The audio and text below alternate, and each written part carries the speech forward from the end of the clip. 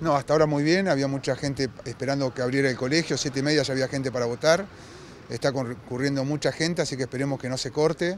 Recién le decía un colega tuyo, eh, que nadie elija tu voto, que nadie vote por vos. Si no venís a votar, este, alguien está decidiendo por vos, así que mucha expectativa de que la gente participe, hagamos este, orgullo de estos 40 años de, democracia, demostremos que, la decisión de qué país eh, queremos está en nuestras manos y hagámoslo valer hoy. ¿Qué escenario ven? ¿Ven que ya mañana hay presidente nuevo o ven un escenario de otra vuelta electoral?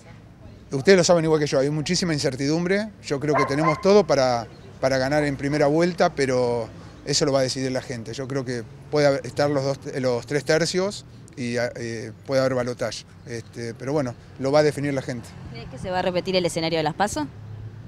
Y es probable, la verdad que no lo sabemos. Me gustaría que no, me gustaría que se defina por primera vuelta, volver a ese, a ese camino de, normalidad, pero bueno, está en manos de la gente. ¿Cómo la ves a la provincia? Digo, el gobernador ha hecho hincapié en que no es lo mismo que gane un presidente u otro. Y estamos en veda, no puedo hacer mucho, mucho análisis, lo he hecho hasta ahora, creo que, se equivoca el gobernador, pero no quiero este, faltar a, la, veda electoral.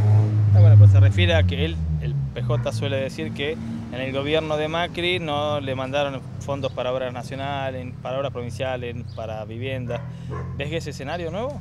No, yo veo al gobernador en, una encrucijada porque es parte de un gobierno nacional que le cuesta representarlo, de hecho desdobló, sacó las elecciones eh, en, el mismo término, nos mandó a, todos los pampeanos a votar en febrero para no estar en esta elección.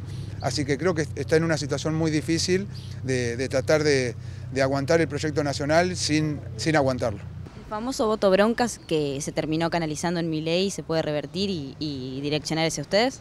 Y eso no lo puedo decir, eso lo, va a decir la gente, yo creo que el, voto bronca está, el el voto de desesperanza, pero creo también que va a primar la, racionalidad, eh, nadie salta al vacío, nadie eh, timbea con el futuro de la Argentina. Yo primo por eso, laburo todos los días por eso, camino a la provincia y la ciudad por eso, así que eh, no, creo que, tenemos que ir por un camino normal de trabajo y orden.